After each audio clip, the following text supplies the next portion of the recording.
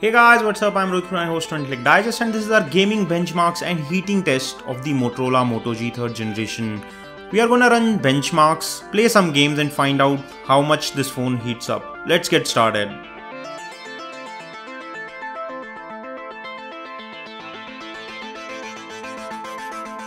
Before we started our test, the temperature of the phone was around 29 to 30 degrees centigrade and after we played the Asphalt 8 which is a heavy graphics game for around 3 to 4 minutes.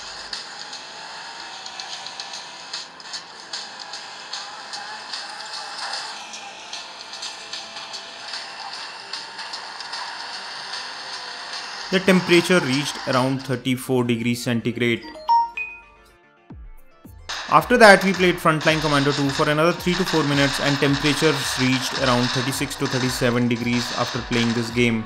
The phone did not get very hot overall and after around 8 to 10 minutes of gaming, the phone temperature was still under 40 degrees centigrade which is good. With a 1.4 GHz quad-core Snapdragon 410 chipset, this phone is not very heavy on specification and hence it does not heat up too much.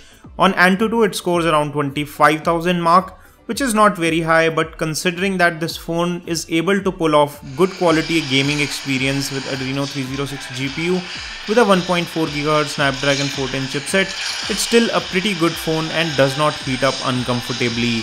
So we'll give it a thumbs up when it comes to gaming and performance. If you want to pick up one for yourself, I'm leaving direct links in the description section below where you can buy one for the best price.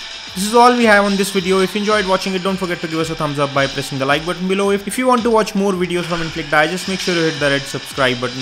I hope to see you on the next video. This is your host Rohit Khurana signing off. Thanks for watching.